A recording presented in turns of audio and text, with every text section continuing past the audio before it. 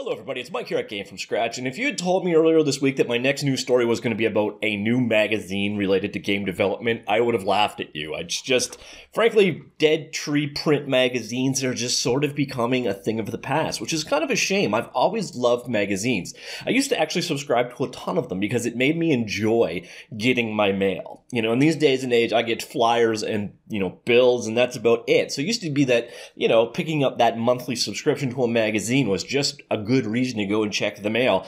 And magazines have been kind of not doing that well lately. Although in England or the UK, there's definitely more of a thriving magazine scene, and that's exactly where Wireframe comes in. Now, Wireframe isn't purely a game development magazine, but it's definitely aimed at game developers, as we're about to see.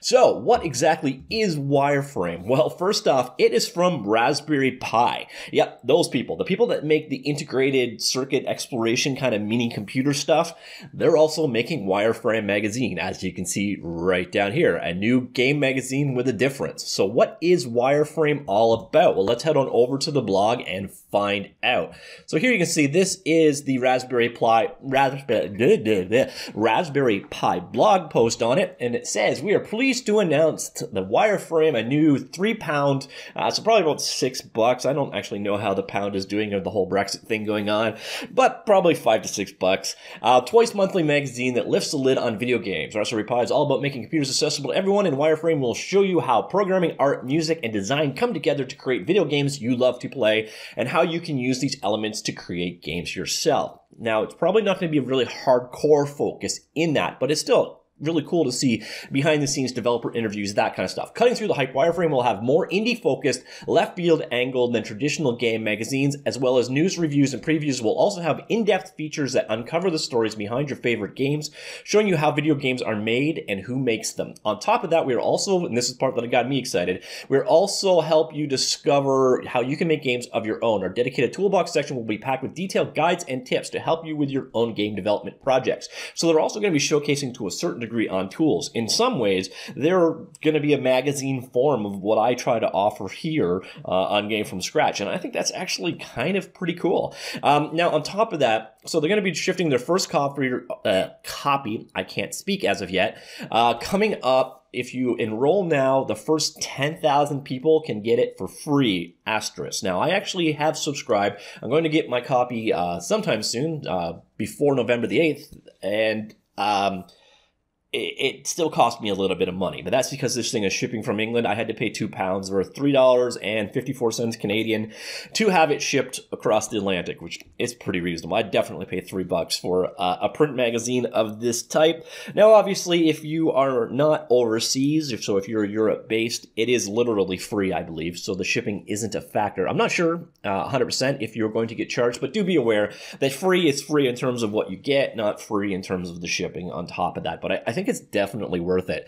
And then once it is actually out they're going to be looking at making this thing. First off this is really cool. It is free digital. So we want everyone to enjoy wireframe and learn more about their favorite hobbies. So you'll be able to download a digital version of all issues of wireframe for free. Get all the features guides and lively opinions of our first ever paper and ink edition as a handy pdf from their website on november the 8th so even if you do not want to sign up for that free copy this is going to be free online in pdf form anyway. So there is reason for pretty much everyone to be excited about this one. And i really kind of do hope they that it does take off. Subscribers, you can see there, uh, introductory offer of 12 issues for 12 pounds, uh, which I am almost certainly going to be going all about. Uh, on top of that, it is available at WF, so Wireframe Magazine, uh, WFMag.cc, and that will bring you here.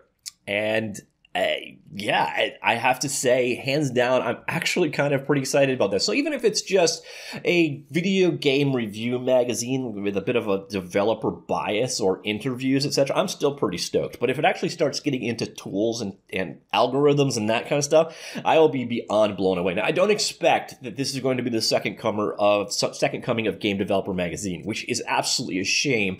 I loved Game Developer Magazine. I don't think this is going to be quite. Um, it's not going to be really for game developers. It'll be more like an introduction to game developers focus, I think. So we're not going to see probably quite as much, but it would be really, really cool if Wireframe ends up redoing the post-mortem side of things. And on that topic, by the way, and this was ironically enough, the last magazine I subscribed to was Game Developer Magazine, and I absolutely loved it. But as you can see, unfortunately, in 2013, they stopped printing them. But if you have not already done so, Gamasutra has the GDC Vault, so the Game Developer Magazine Vault online. So you can come in here and grab previous issues as PDF files, like you see here in front of you. And this is a very depressing one. And it's kind of ironic because actually I was called by them to write an article uh, two months before that this actually came out. So I was actually going to be featured in Game Developer Magazine or, or write an article for Game Developer Magazine. And I was actually pretty happy about that because, again, I love this magazine or loved it. Uh, but then in the time that I was going to be doing the article, it, it kind of got shut down. So yeah, that was depressing. But, anyways, let's hope that this new Wireframe magazine is a spiritual successor to Game Developer Magazine. If that is the case, I am absolutely delighted. It's cool to see people keeping print alive, and it's even cooler to see that they're going to be making this available to game developers for free as a PDF so no matter how you look at it, win, win, and possibly some more win. Unless, of course, the magazine is complete and utter crap, in which case, well, that'd be kind of depressing, to be honest. But anyways, what do you think? Are you excited about this idea? Are you going to try to be one of those first 10,000 to get the free collector's edition limited version print that's going to be sent out? Are you thinking about giving it a shot? Are you going to definitely check it out when it's available for free online? Let me know what you think down below. And more importantly, I'm actually kind of curious do you subscribe to any magazines anymore? Like, are, are, they dead to you? And if you do still get magazines, are you in the UK? Because that's where I'm finding it thriving. The only game, the only other magazine I would probably consider subscribing to right now is Retro Gamer, and that's from Future Media, again in the UK. UK still seems to have a good thriving magazine market, but here in the US, it seems to all be just mass market crap, and that's about it. So, um, yeah. Anyways, let me know, comments down below, and I will talk to you all later. Goodbye.